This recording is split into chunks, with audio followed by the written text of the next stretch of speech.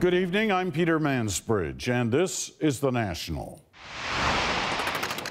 Canada gives a rare honor to global activist Malala Yousafzai. If Canada leads, I know the world will follow. But as she praised this country, she had a pointed message for another. The toxic legacy of a former high tech superstar. Will taxpayers foot the bill? The sudden death of a Canadian pioneer in the fight against HIV/AIDS. Plus, thousands slain in the Philippines war on drugs. It raises a lot of questions. Who's telling the truth?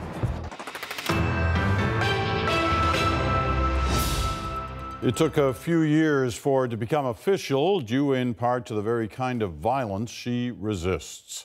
But Malala Yousafzai is now an honorary Canadian.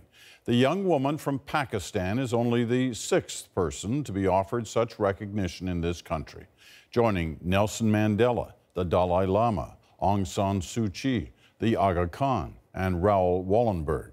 As the CBC's David Cochrane tells us, Yousafzai accepted with grace and with a plea to her new country to help carry out her work. Malala Yousafzai began her day in Ottawa with the simple act of going to high school. You all are blessed to have the opportunity to read, to learn, to come to school. It's the cause she lives for and the cause she nearly died for. At just 15, Malala was shot in the face by a Taliban gunman determined to silence her advocacy for the education of young girls. That act of violence pushed her onto the world stage as an ambassador for peace.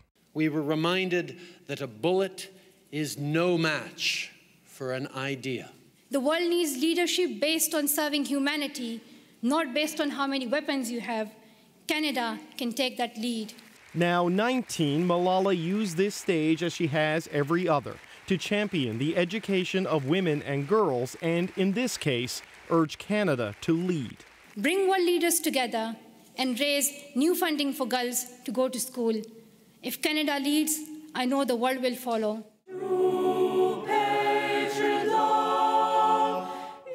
Before her speech, Malala received her honorary citizenship in the Parliamentary Library, a fitting backdrop for someone who braved death in her own country to access books and learning. Every morning I would hear the news that more innocent people have been killed. I saw men with big guns in the streets.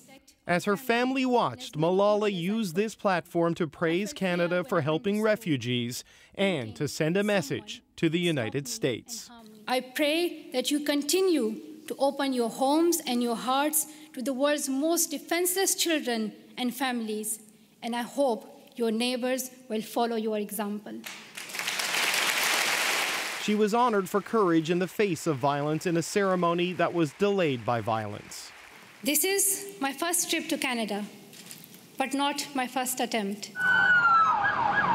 This was originally scheduled for that day in 2014 when Corporal Nathan Cirillo was murdered and Parliament Hill attacked. The man who attacked Parliament Hill called himself a Muslim, but he did not share my faith. He did not share the faith of one and a half billion Muslims living in peace around the world.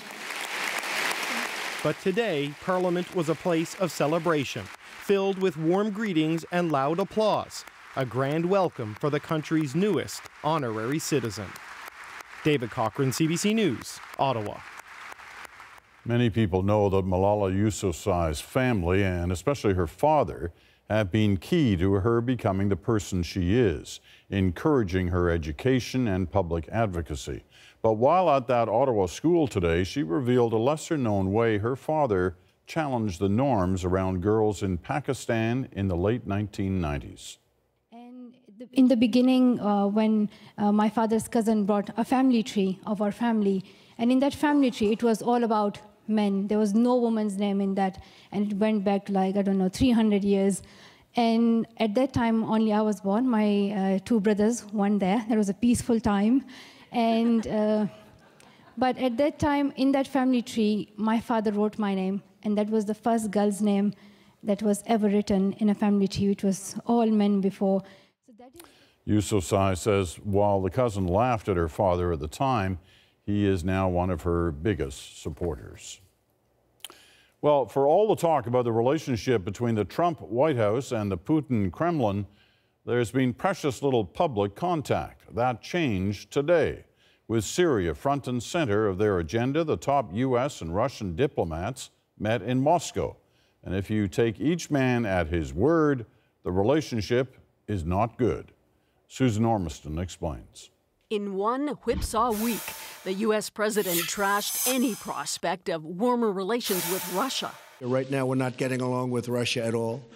We may be at an all time low in terms of uh, relationship with Russia.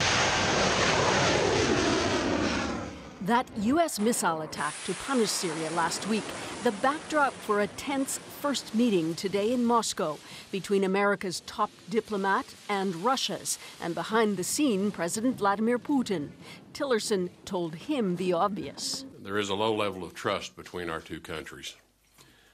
The world's two foremost nuclear powers cannot have this kind of relationship. But how to dig out of the mess, with President Trump calling Bashar al Assad an animal. Frankly, if Russia didn't go in and back this animal, you wouldn't have a problem right now. And UN Ambassador Nikki Haley today lecturing Russia at the Security Council. You are isolating yourselves from the international community every time one of Assad's planes drop another barrel bomb on civilians. With little effect. Those against? As Russia used its veto for an eighth time to scuttle UN sanctions on Syria. Against all this, Rex Tillerson and Sergei Lavrov tried to open channels. We still have many prospects for cooperation. Russia is willing to cooperate with the U.S. to, to be engaged in dialogue. They did agree on an independent investigation into the chemical attack and on resuming a deconfliction hotline for military cooperation in the air over Syria. But among the biggest divides, Bashar al Assad, the U.S. wants Russia to pressure him out. Our view is that the reign of the Assad family is coming to an end. No sign today that Russia agrees on that. The diplomatic dance in Moscow did not inflame tensions, and at best, they're still talking. The U.S. is still sending mixed messages about Russia's role in the chemical attack. Tillerson said clearly today the U.S. has no evidence to say Russia was involved. But later, his boss, President Trump, said it's possible, but probably unlikely, that Syria launched the attack without Russia's knowledge. Susan Ormiston, CBC News, Toronto. He was a leader and a giant in the field of AIDS research right from the beginning. Part of the team that first figured out how 3TC could be used to fight the deadly illness. And Montreal physician Dr. Mark Wainberg remained a giant in the field right up until his accidental death yesterday. Allison Northcott has more. There's probably still enough. Mark Wainberg was an international leader in AIDS research, working for decades to understand drug resistance of the virus and advocating to give people around the world access to treatment. We will effectively contribute with time to a solution to the AIDS problem. Clear, clearly, that's our goal. He was recognized in 1989 for his part in identifying 3TC as an antiretroviral drug, which is still used today in combination with other medications to treat people with HIV. We have transformed an HIV infection status from what used to be sure death to now representing a chronic manageable condition. For Dr. Réjean Thomas, Wainberg was a mentor. He was very interested to the life of human, uh, defending the gay community, defending the, uh, the sex workers in Africa. Uh, so, he, and he was so well uh, respect. Wainberg headed two research institutes in Montreal and taught at McGill University. He received multiple honors throughout his career and helped organize AIDS conferences around the world, including the first major one ever held in a developing country in Durban, South Africa in 2000 when he was president of the International AIDS Society. He's remembered as a pioneer in his field whose work made a difference. He was not content of uh, treating people for them to have a, a nice, nice uh, lifespan. He wanted also to get to the cure for HIV. So he started several projects, and I think this still this work will still um, will still go on. Police in Bal Harbour, Florida confirmed Wainberg's death this afternoon. He had been swimming in rough waters and ran into trouble. The son swam out to where he had seen his dad, was able to locate him, began to swim back to shore with him. He was transported on the, to the hospital where he was pronounced. Wainberg remained committed to his work right to the end of his life, even at 71, telling colleagues he had no plans to retire. Allison Northcott, CBC News, Montreal. Coming up, a public health measure saved lives in New York while Canada dragged its feet. We could have saved potentially thousands of heart attacks and strokes in Canada. Plus, the Philippines' war on drugs. Why some say it's really a war on the poor. These days, when Canadians hear Nortel, they probably think less about its success as an early tech giant and more about its demise. That demise has become its legacy, both in how its employees suffered financially, but in a lesser known way too, what it did to the environment and how Canadian taxpayers, not Nortel, are paying for the cleanup. Julie Ireton explains. This is where they uh, basically, I think, came out here to do all the testing. Darwin Hoskin surveys the property at Nortel's former plant in Belleville. He worked here for 38 years. The company is gone, but a toxic legacy remains. Nobody really knew, and obviously at this point, um, we can see some of the impacts of, of what happens when the rules aren't followed, even though there weren't any rules back then. Old Nortel sites in Kingston, London, and Brockville are all contaminated with VOCs, volatile organic compounds, chemicals that were used in these telephone equipment factories. Contaminants here in Belleville are now affecting the neighbors. Solvents used to clean equipment weren't properly disposed of. This contaminated the groundwater with cancer causing chemicals. A toxic plume migrated to the elementary school next door. Before remediation, tests showed low levels of gas from the contaminants inside the school. Students and staff had to move out for six months. Under the advice of public health officials, a new ventilation system was installed as a precaution. Our first and foremost priority was uh, ensuring the safety of our staff and our students, and so the decision was made uh, to make the uh, renovations as were suggested. The board says the air is now safe at the school, but the toxic plume remains and will eventually need to be cleaned up at a cost. Mark Matson worries it's more than a financial that, liability. That, that, contaminated water is also leaching into the air and offing gases. It's ultimately making its way into our rivers and our streams and our creeks, creeks and getting into our fish and our birds. Ontario's Ministry of the Environment and several other Nortel creditors claim hundreds of millions of dollars from the Nortel estate. Lawyers that are associated with the Nortel case say the best they can hope for is half of their claims. The rest of the cleanup costs will go to the taxpayer. Julie Ireton, CBC News, Ottawa. Julie mentioned the 800 or so polluted and toxic sites across Ontario. Across Canada, the number is more like 23,000. They include everything from old dry cleaners to abandoned gas stations to the giant mine site. Under Canadian law, it is incumbent on the polluter today, but as with Nortel, when there is no money, the cleanup can fall to taxpayers.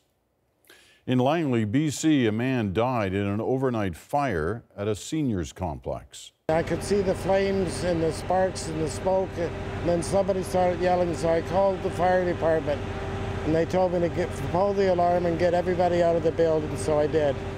That warning meant all other residents got out. Some of the elderly needed help from emergency crews down three flights of stairs. Damage is extensive, and more than 60 seniors are now without a home. A member of the Canadian Forces has been charged with sexual assault.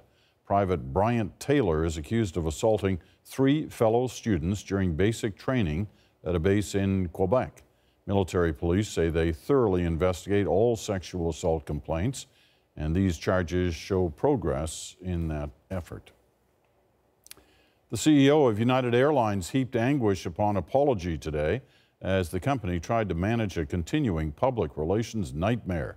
The video showing a passenger being dragged down the aisle of an airplane is seared into the internet's unforgiving memory, and today, another video of the incident emerged. Ron Charles has the story. Video released today shows the moments just before Dr. David Dao was dragged off a United Airlines flight. No, I'm not going. In it, he is telling airport security officers he's not giving up his seat to make room for an airline employee commuting to work. The passenger who recorded the video says Dao remained calm. I did not see him at all ever try to raise his hands against the police. He was not fighting them. He just wasn't getting up. I mean, he was resisting moving, um, so they had to, you know, rip him up out of the seat. Seconds later, those now famous images of a security officer dragging Dao down the aisle, battered and bloodied, to the shock of fellow passengers. Oh my God, look at what you did United Airlines CEO Oscar Munoz at first admonished Dao as a belligerent, disruptive passenger, then late yesterday released an apology for his treatment. This morning, in an interview with ABC News, he went further, saying he felt shame. The first thing I think is important to say is to apologize to Dr. Dao, um, his family, uh, the passengers on that flight, our customers, our employees. That is not who our family at United is. The CEO's contrition comes after angry reaction on social media in China to a doctor of Asian background being dragged from a plane. United has more direct flights to cities in China than any other North American airline, leading experts in Chinese investing to offer dire warnings. This plays really badly in China. Many people in China are interpreting this, rightly or wrongly, as this gentleman was chosen because he's Asian, because he's Chinese or Vietnamese. That's the perception, and perception is everything. Dao's lawyer sought a court order today compelling United to protect all records of the flight and incident, typically the first step when launching a lawsuit. Ron Charles, CBC News, Toronto. Military officials in the Philippines say they have killed a militant who was involved in the beheadings of two Canadians. They say the man known as Abu Rami and several other members of the group Abu Sayyaf were shot dead during an armed confrontation. Last year, the group kidnapped and killed John Ridsdale and Robert Hall. A bit later, we'll show you another cause of grief in the Philippines a popular war on drugs that's claiming thousands of lives.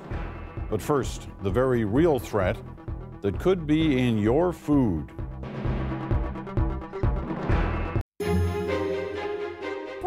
The Shuswap leaders seem to be the best hope for a peaceful resolution. But the police have made it clear the resources are available for deployment at a moment's notice. What happens when this melts? Every year for more than a century, Toronto has had a January thaw. When it happens this year, the fear is that the catch basins and the sewers will be overwhelmed. So how is it that a huge moose cannot protect itself against a tiny tick? Well, some naturalists say it's a problem of evolution. The ticks were here first. NORAD is so certain it can handle any airborne threats, it offered CBC News a chance to ride along and watch. This is, in many ways, an Olympic first, one that wouldn't have seemed necessary or even imaginable before September 11th.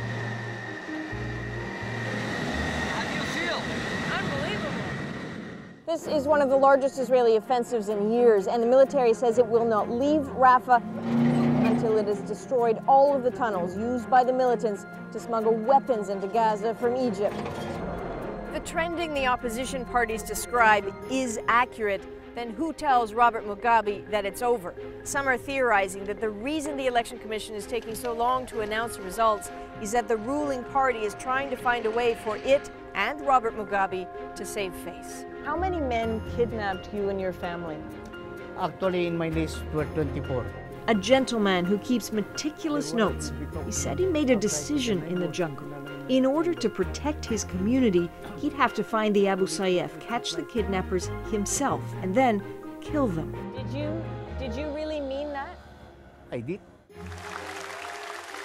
Burma wants the business of the world, and the business of the world certainly wants into Burma. This could be the new beginning. Just about the only thing it seems that will stop the exponential spread of this virus is if more people manage to make it to treatment centers like this one. Right now in Liberia, only about 18% of the people with Ebola are coming to clinics like this. The rest are being treated at home, potentially infecting everyone else around them. Until that changes, Ebola will just keep winning. One more time. Watch the curb behind you, John. Hey. Just um, just when there was beginning to be a sense that maybe this was calming down, someone set fire to a car, people started running, and here come the riot police.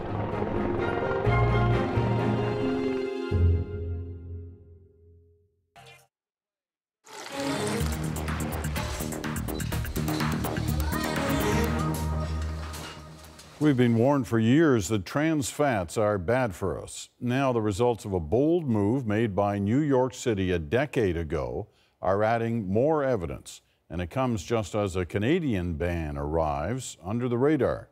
Health reporter Vik Adhopia has the details. At New York restaurants, all manner of fried foods and creamy pastries are still on the menu. What's not are artery clogging added trans fats specifically partially hydrogenated oils. They haven't been for almost a decade after the city's health board banned them from eateries. Some parts of the state followed suit, others didn't. Naturally, researchers wanted to see what difference, if any, the ban made after just three years. And when we looked at what happened after bans were implemented, we found that there's a 6.2% decline in heart attacks and stroke. In New York City alone, researchers estimate the ban prevented more than 4,000 heart attacks and strokes. Two grams of added trans fats significantly increases your risk of cardiovascular disease. This order of fries contains almost double that. Now, this same restaurant eliminated partially hydrogenated oils in U.S. cities where they were banned. But for the rest of the U.S. and Canada, it's business as usual. Now, that wasn't supposed to be the case in this country. Voluntary strategies don't work. The NDP's motion to ban added trans fats was actually approved in 2004 in a rare show of parliamentary solidarity. But it still took five ministers of health and two elections to put the ban in place. That happened late Friday with little fanfare. Next year, partially hydrogenated oils will be classified as a contaminant. This Toronto cardiologist says the Yale study shows the price of Canada's public policy dithering we could have saved potentially thousands of heart attacks and strokes in Canada. Abramson says she's long warned her own patients to not wait for the government to act. Pick up a label, read it, and make a healthy choice. Health Canada's ban was of little surprise, at least for Canadian processed food makers that sell to the U.S., where added trans fat will also be completely banned next year. Vik Adhopia, CBC News, Toronto. If spring weather already has you thinking about summer road trips, a bit of bad news today. Gas prices took a sudden jump up in many places. Annoying for sure, but as Havard Gould reports, paying more at the pump is a staple of the season. This spring is worse than most. The changeover to summer gasoline with a different formula for warmer temperatures always pushes prices up but the sharp increases this spring, as much as 8% in a day, are catching drivers by surprise. They're paying uh, one, 120, 19. that's, that's insane. The weak loonie hurts. The cost of carbon pricing in Canada may be a factor too, but analysts are putting a lot of the blame somewhere else. Americans are driving more and burning more gasoline as the U.S. economy strengthens. This 840 horsepower monster. This week, Fiat Chrysler unveiled this new model, an enormously powerful sports car that illustrates that growing thirst and the reduced interest in fuel efficiency south of the border. We're almost broadsided by what happens in the United States. This fuel forecaster says Canadians shouldn't expect the price of gas to retreat at all until the fall. And it's likely to go a little higher because the Canadian market follows the U.S. market to a T. No one ever enjoys paying more. It's actually pretty expensive to, it's uh, because I have two jobs and most of my paychecks going towards gas. And this summer, Canadians are being encouraged to hit the road, to explore their country on its 150th anniversary. Something that may be a hard sell for those who believe that paying for the daily commute is already too much. Havard Gould, CBC News, Toronto. Jeffrey Orridge is stepping down as commissioner of the Canadian Football League. He took on the post two years ago after serving as head of CBC Sports. The CFL praised Orridge for his work on diversity as well as player health and safety. That despite some controversy last November when Orridge concluded the link between football injuries and degenerative brain disease is still unproven. Today, Orridge said he and the CFL board have differing views on the future of the league. The Bank of Canada left its key overnight rate unchanged today, saying it's too early to declare the economy is on a sustainable growth path. So it stands at 0.5 percent. The bank's current forecast expects the economy will continue to grow, but at a moderate pace. Up next, the Philippines' war on drugs claimed thousands of lives in mere months. What you hear from them is that, oh, we're poor, oh, we're innocent. But that's not true. The death toll has stirred international outrage, but many Filipinos seem just fine with an endless string of slaughter on the streets. But first, let's check today's business numbers. The TSX fell 78 points. The dollar closed up three tenths of a cent. In New York, the Dow lost 59 points. The price of oil dropped 29 cents a barrel.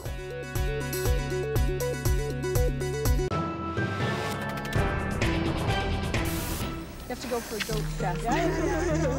a track star nowadays has to be followed around by a doping official almost any time she wins a major event. What the testers are mainly looking for here is the subject of an international ban. Anabolic steroids, a derivative of the male sex hormone which is supposed to build muscle. The athletes say all this doping control business is a bit of a waste of time and money, which is something the Canadian team does not have in abundance. Good evening. The nation is in shock tonight over the downfall of a Canadian hero. Ben Johnson, who made the country so proud on Friday, was just hours ago thrown out of the Olympics for taking drugs, steroids. Oh, that's devastating. It makes me wonder what's happening to Canadian athletics. It's the biggest disappointment anybody could ever imagine. In this Montreal lab, scientists test the blood and urine of athletes for signs of drug use, signs of cheating. There's no shortage of work and much more to come now that Montreal has been named headquarters of the World Anti-Doping Agency. There will be more pressure on Canadian athletes, but not only Canadian athletes, all athletes around the world. Europe's fastest sprinter has become the latest athlete to test positive for a new designer steroid called THG. The drug is at the heart of a widening doping scandal in the U.S.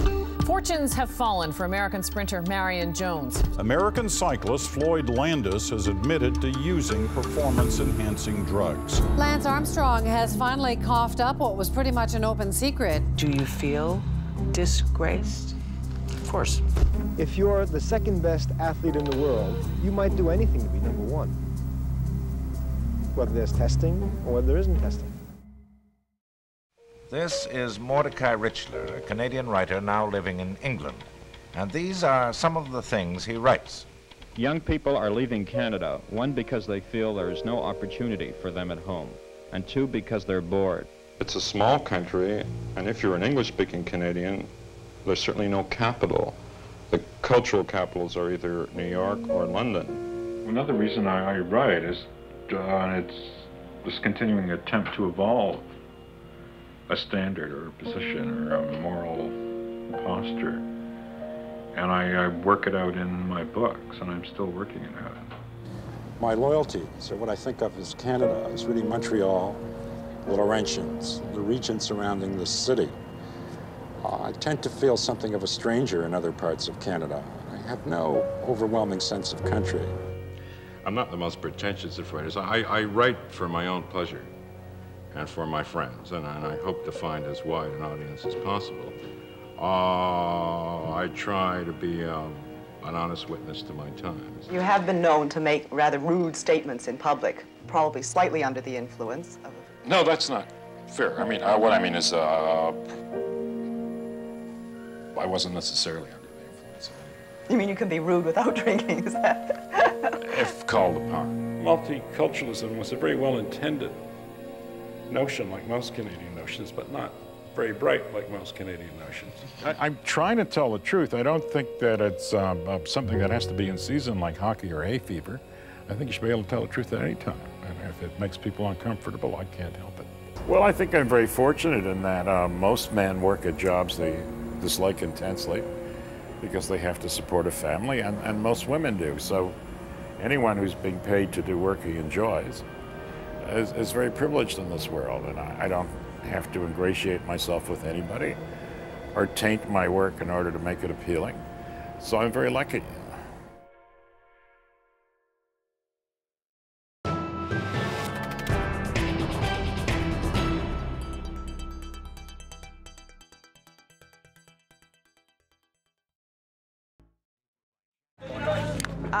So now they're taking the body to the funeral parlor. And the family's going to follow. A bloody battle is being waged in the streets of the Philippines. Thousands of drug pushers and users executed in a matter of months. It began last summer after President Rodrigo Duterte promised to wipe out every drug lord.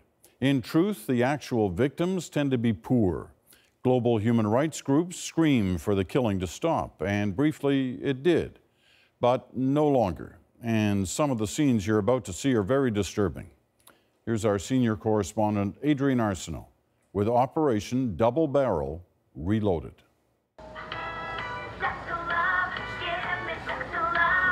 It's 11.05 minutes before 12 midnight. It's a weird soundtrack to snooze by, and it's a weird place to sleep, too. The press room of the Manila police station and the photographers on the night shift who need a lot more rest than they're about to get.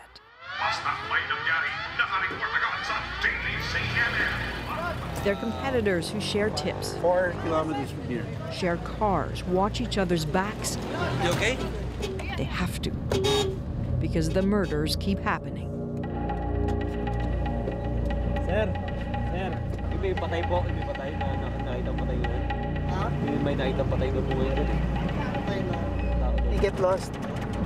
Okay, who's this next victim? Who's this yeah.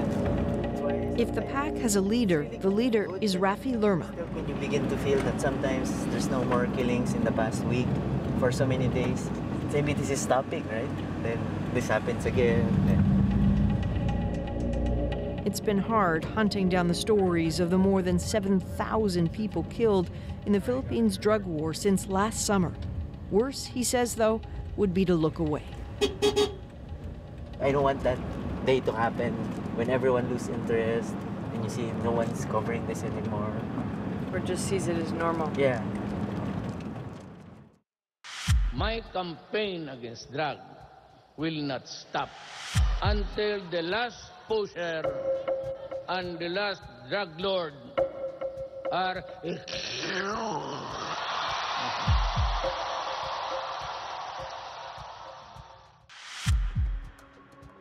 when the Philippines president made that promise, arguing his nation could become a narco state if drug use isn't stopped, masked men, sometimes police, sometimes just thugs, started killing with abandon. Murderers who suffocated their victims by wrapping their heads in tape, often writing pusher or addict on signs left with the bodies. When corrupt cops were exposed for some of these killings, the offensive was put on hold. But it's back. Official orders to police are to try to just arrest suspects. But the blood still flows. Four lights ahead. Executed. Francie's here already, and they're going to process Francie. Thank you. And it sometimes looks like this, and sounds like stunned silence. A drive-by shooting by masked men. Police quick to say they happened to find a packet of shabu or meth on the victim. Vincent Go as much a regular as Raffy. He says you hear the claim often of finding drugs. Maybe it's true, maybe it's not. Anybody ever held to account for these murders? No. Never. Until now, no. No, that's the sad thing about it.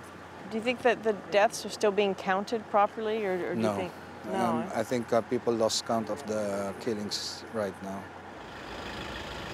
Real numbers are suddenly hard to come by. Newspapers that once diligently tracked the deaths don't seem to anymore, and official updates on cases are rare.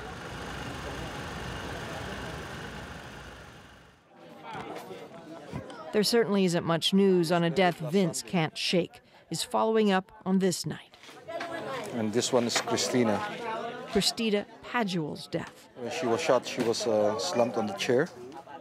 His photo of the moment is hard to take. During things like this, uh, everybody seems to be afraid to talk. They should have seen, seen everything, but they refuse to talk to the media. By the time he and the other photographers got to the scene, police had already announced they'd found traces of Shabu on Christina. Another man nearby was shot 10 times. She was hit twice while sitting eating watermelon. And that's her, her last meal. And nobody's talking, so it's really hard who was the real target. It's really hard to say if who was the real target of the shooting. Add the absence of answers to the family's pain here at her wake. The photographers keep an eye on a lot of families. Christina's is a real concern. Like most of the grieving from the drug war, they struggle to make ends meet. Which explains this. In full view of the coffin, strangers mostly, not really mourners. They've been gambling for days and nights, keep most of the winnings. Christina's family gets a small cut. For many of the poorest families, this is the only way to pay for the funeral. So, here's the really sad math on this. In order to get her body back, Christika's father had to pay the funeral home up front about $700. That's money he really didn't have. All this fundraising from the gambling is supposed to pay for it, but the best they seem to be able to do is about $10 a day. See that interment notice? The date has been left blank because until there's money for the funeral, the family couldn't book one. And she's already been dead a few weeks. This is where one particular photographer is a lifeline. Brother June, they call him. He does double duty, also working with the church. He takes on a lot, this guy. Yeah. Yeah, he takes on a lot, and you usually see him asleep inside the car because he has duties eh, during the morning in the church duties, and at night still goes out with us. When Brother June's colleagues on the night shift explained Christina's case, the congregation at his church raised the rest of the money for the funeral. He's here to deliver it. Now they can bury her. He's also offering legal help, but the family doesn't want it. They are afraid because they don't know who's the, the killer. They don't know what's the other motivation. Are they going to file a case, no, do you no, think? No, no, no, no. It's not in their mind. They want to forget everything. So there may never be answers about Christina's death.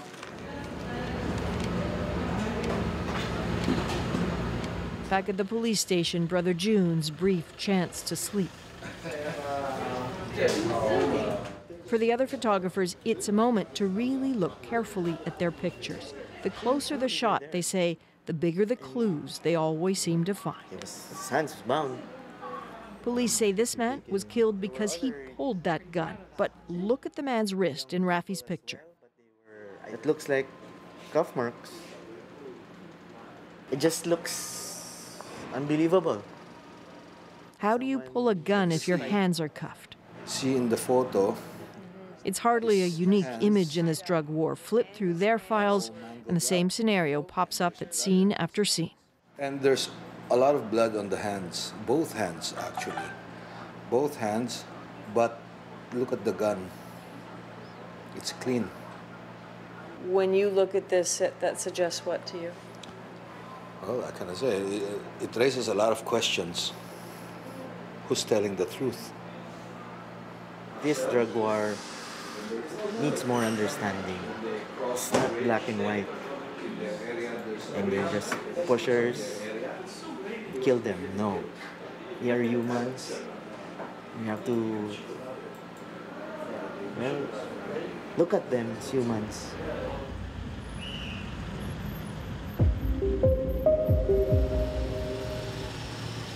But Raffy and Vince and the others can't always make people feel what they feel.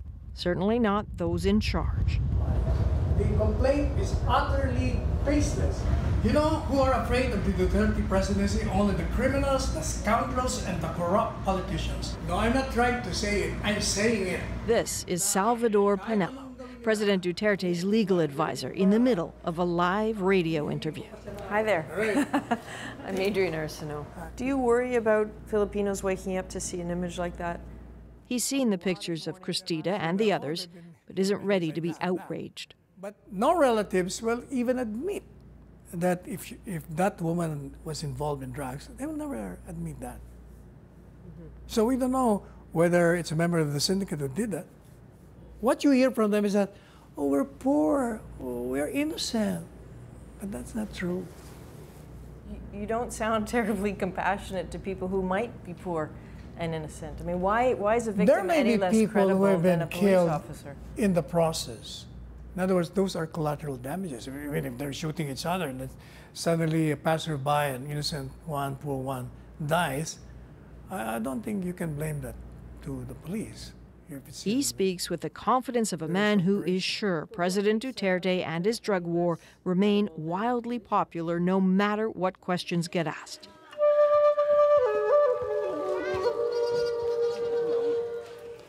And in the big picture, he's right. It's interesting because this drug war doesn't seem to be killing the drug lords, but low level users, the poor who live in these densely populated neighborhoods. Maybe someone's killing them to keep them quiet. So you might think these places would be full of rage about Duterte, but they're not.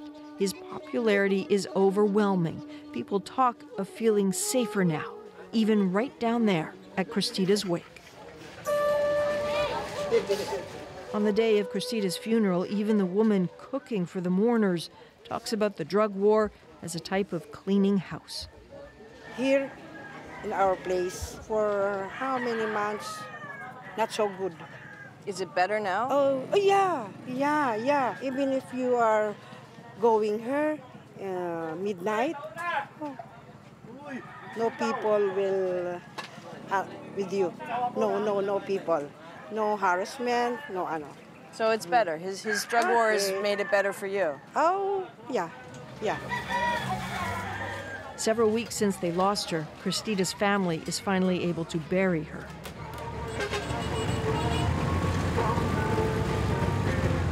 Where they head to is an overcrowded cemetery crammed now with the victims of the drug war. It's a frenzy.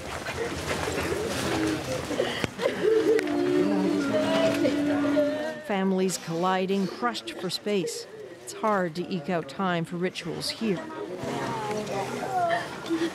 They'll lease the burial compartment for just five years. After that, they'll have to pay yearly to keep her body here. Many can't afford to. Christina's cousin Bernice can't seem to take this all in. many, many, many, many drug lords. I wish that all that killed, not her, because she, she's so funny girl. She's so nice, and she's kind for us. It is blazing, dizzyingly hot for all the mourners and those photographers.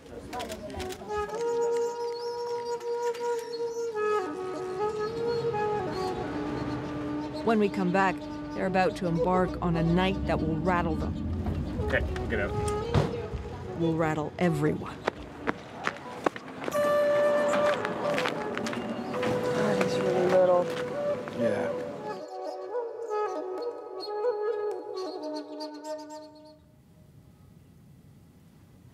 Hi there, everyone on Facebook. I'm Adrienne. Uh, we are obviously in a commercial break on the National.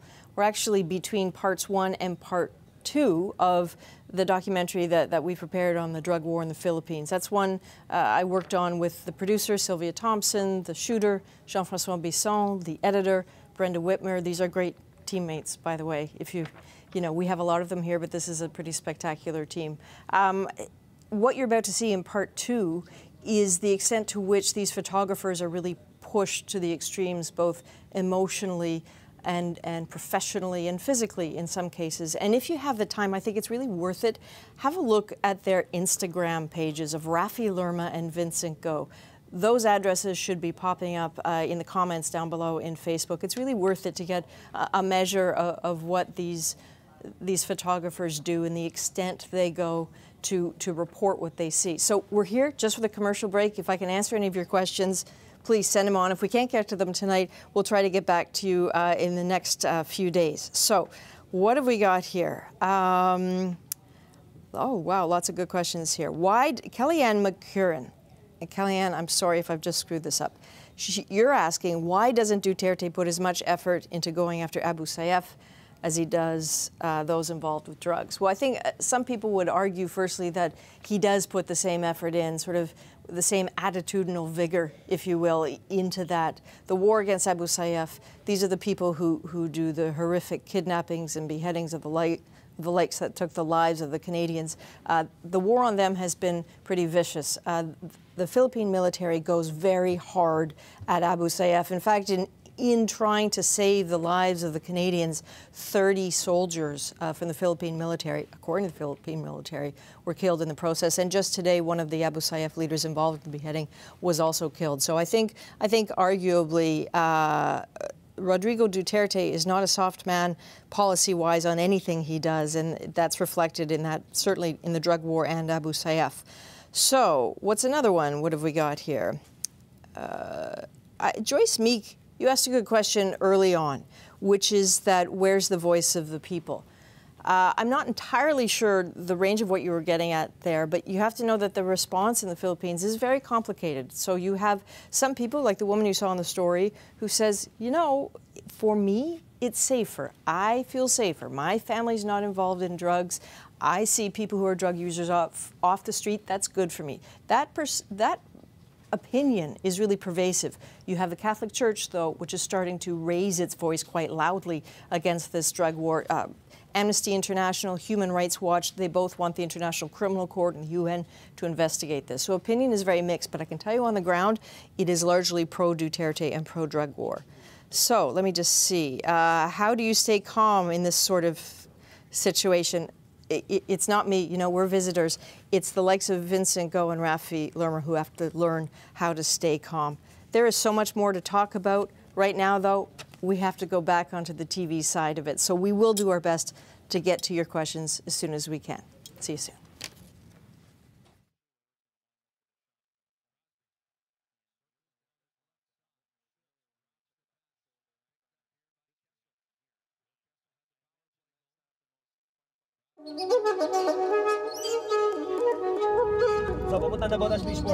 Careful. The Manila night shift photographers may be used to what they see, but not everyone is.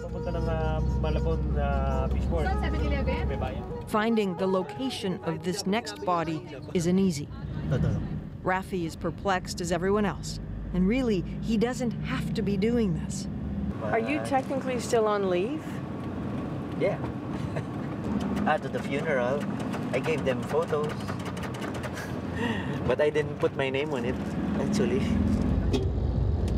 What about this cop car here? His worried bosses have told him to get off the night beat. But he can't shake the feeling he has a responsibility to be a witness. Okay, we'll get out. Even when it means a moment like this.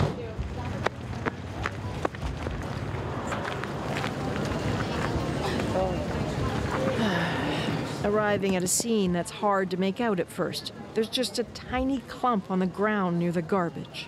God, he's really little. Yeah. He was made to kneel. See, he was made to kneel. Yeah. Then shot in the head. And you said you think he's just 16? Yeah, the family's over there. He looks really They said that they were searching for him for five days already.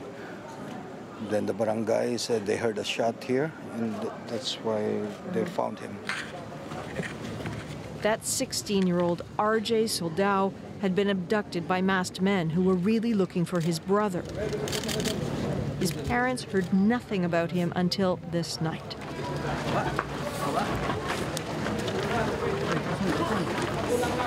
going on here? Uh, so now they're taking the body to the funeral parlor. and the family's going to follow. All the silence of the night gone. After holding themselves so tight, somehow deep down thinking maybe it wasn't him, they suddenly caught a glimpse of his face.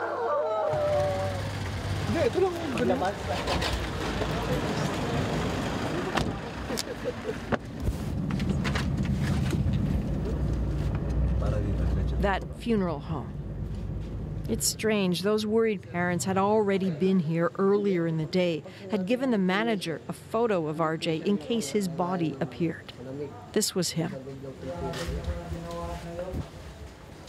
If your impulse is to think the cameras have no business being here, consider some families beg the photographers to stay close. Think maybe their presence, their questions, will stop funeral homes from extorting victims' families. As disgusting as that sounds, it happens a lot. Blindingly obvious thing to say, perhaps, but it is a lot of death to absorb all night, almost every night. In the name of staying sane, the photographers have developed a ritual. After a long day, it's like you feel having a home cooked meal. A meal together to close out most nights because who can just go home without working through all they've just seen? It's a few minutes before 5 a.m. Do you? Do you actually over dinner talk talk about what Sometimes, you saw? yeah. No. Maybe this looks like nonchalance. It's not. It's their everyday, and their trauma sneaks in like fatigue. Because many of the photojournalists who've been covering this are, are the juniors. They're not the senior photographers, actually. So you, you watch out for them a little bit. Yeah, yeah. I could remember one photographer during this scene, crime scene in the rail tracks. When he was covering, he was, pardon my, um, but he was saying, putang ina, putang ina, putang ina. He was kept on repeating that. It's son of a bitch, son of a bitch, son of a bitch. And I had to, I had to snap him out of it. Huy. Wake up. Wake up. For about 45 minutes, they sat there, as much about therapy as that needed meal. Brother June is in a hurry.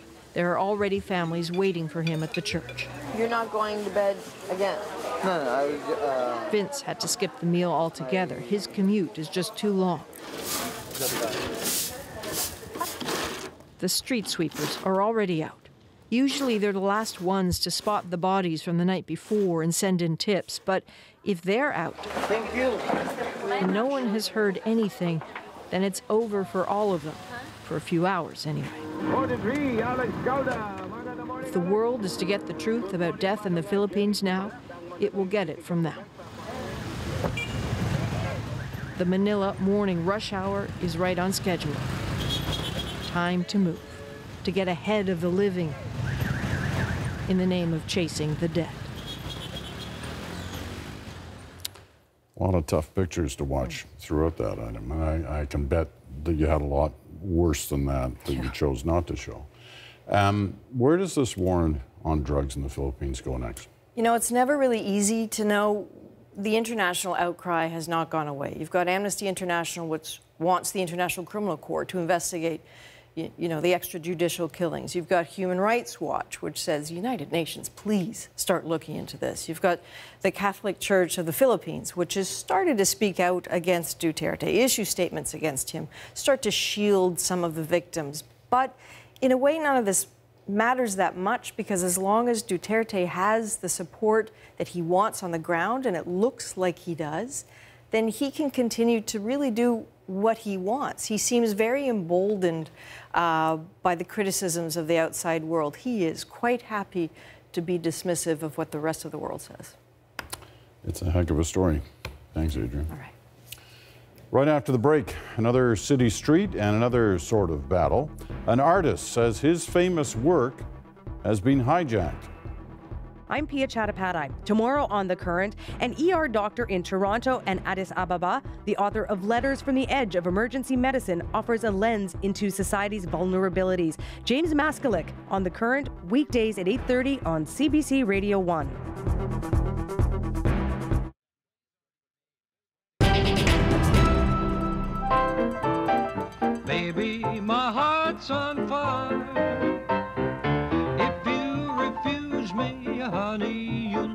Lose me. Then you'll be left alone. Oh, baby, telephone. 85 years ago today, the first telephones went on sale to the public.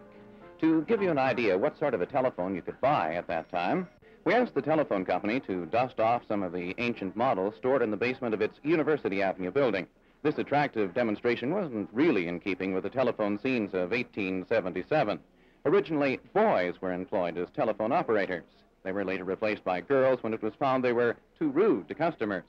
And this is something else that's in use now and will one day be a part of every home. It's called the video phone. If I'm off center, you can't see me anymore. So uh, You'd only want to do that if uh, you weren't properly dressed. The size, the shape, and the color has changed a little in the past 30 years, but it still does the same thing. Or does it? The fact is that the system to which this phone is connected has changed radically. Now this uses the phone, and this does, and so does this. The telecommunications industry has produced an electronic highway. Tim Barnett is checking in with his office. Hello, Claudine. He's using his new high-tech cellular phone. It's got no wires, no jacks, and it travels anywhere. The people selling it claim it's the productivity tool of the 80s. It could equally be an expensive bust. To ever call me on my uh, cellular phone, I'd appreciate it. This gadget doesn't come cheap. It costs between $2,000 and $6,000 just to get the equipment, and there's call charges on top of that. Yesterday, they were gadgets used only by the rich and powerful. Today, your local pizza delivery is likely to have one. And in next to no time, so will most of us who want to have that phone, no matter where we happen to be. Research in Motion dominates a small industrial park in Waterloo, Ontario. It invented and manufactures a pager called a BlackBerry. Its unique feature, a keyboard that allows you to send and receive email essentially in real time. Now, when Apple says it plans to make a new cell phone, people listen. Today, the company showed off its iPhone with a touch Samsung has brought its fight for smartphone supremacy to Apple's turf. refuse me, honey, you'll lose me. Then you'll be left alone. Oh, baby, telephone and tell me I'm your own.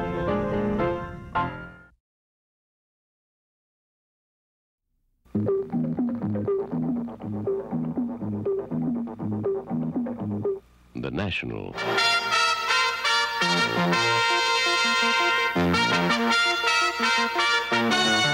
National.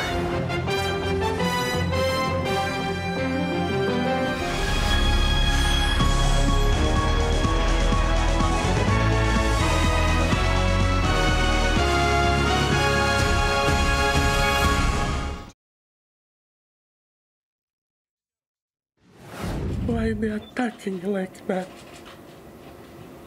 It's really bad. It's really bad. That's the artist behind New York's famous Charging Bull statue on Wall Street. Today, he says his rights have been violated after the city allowed a competing statue, Fearless Girl, to stare down his creation until next year. The artist claims it distorts the bull's intended positive message.